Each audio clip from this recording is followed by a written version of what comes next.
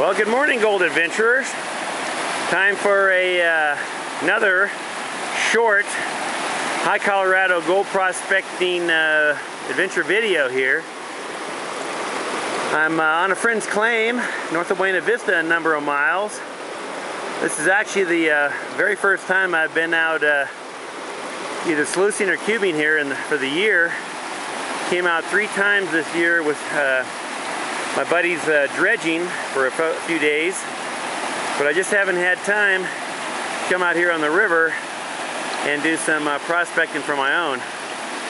As you can see, the river is way, way down. A couple days ago, the, it was showing 150 cubic feet per second at the uh, granite gauge, which is actually the lowest I've ever seen it here in four years.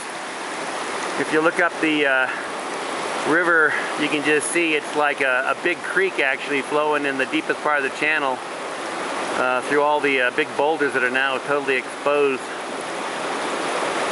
So it's about 9.40 in the morning on uh, Saturday, I think it's, yep, the 29th of uh, October.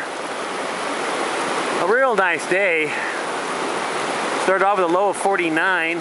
Can't believe how warm it is. It's supposed to get up to about 65 here and about 72, I think, in Denver with the sun staying out, unless it clouds up a little bit more. But the river's flowing cool and clear and real low and slow. Now I got my gold cube down here. I drug it down. I just got going here. Got it all leveled up. Just started to wash some dirt.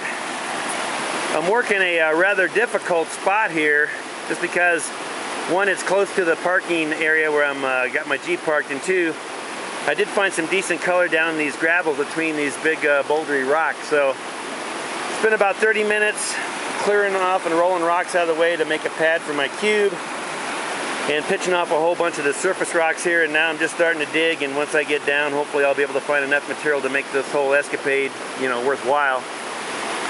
But it's a gorgeous day here on the river.